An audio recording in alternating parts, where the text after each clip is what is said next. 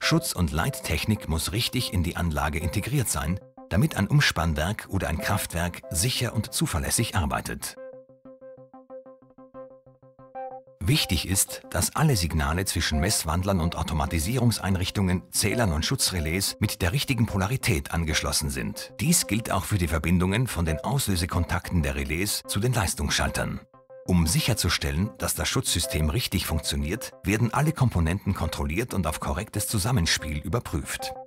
Die Vielseitigkeit des CPC 100 ermöglicht auch seinen Einsatz bei der Inbetriebnahme von Schutzsystemen, um Fehler zu identifizieren und zu lokalisieren.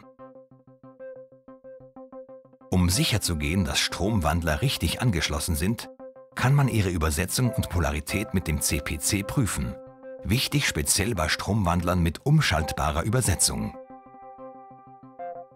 Durch Messung der Magnetisierungskennlinie lässt sich überprüfen, ob die Schutzkreise an den richtigen Stromwandlerkern angeschlossen sind. Bei Spannungswandlern kann mit dem CPC die richtige Übersetzung und Polarität überprüft werden. Das CPC kann auch die Bürde von Wandlerkreisen messen.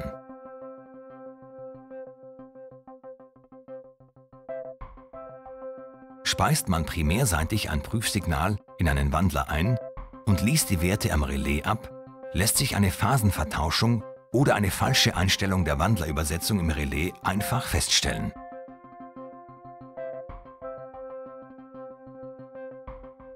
Um die Polarität eines Spannungs- oder Stromsignals durch die gesamte Sekundärverdrahtung und ihre Klemmen zu überprüfen, generiert das CPC ein Sägezahnsignal und speist es in den Wandler ein. Dann kann mit dem C-Pol die Polarität aller Anschlusspunkte kontrolliert werden.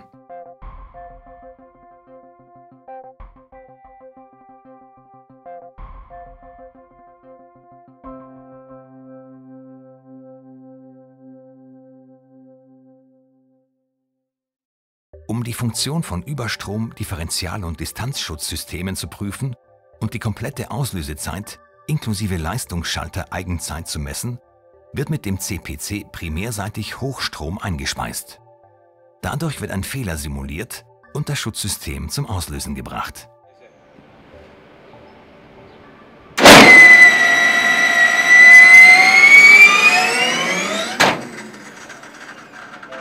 Mit dem CPC kann die korrekte Einbindung der Schutz- und Leittechnik in eine Umspannanlage oder ein Kraftwerk kontrolliert werden, indem alle wesentlichen Komponenten geprüft und auf ihr Zusammenspiel getestet werden.